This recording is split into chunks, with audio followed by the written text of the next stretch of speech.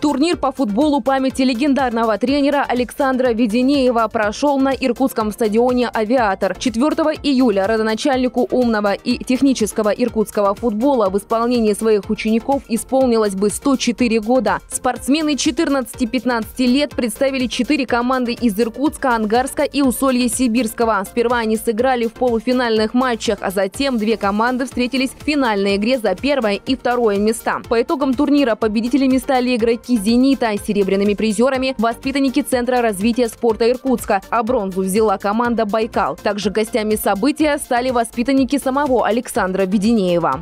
Я пришел э, к Александру Петровичу десятилетним мальчишкой.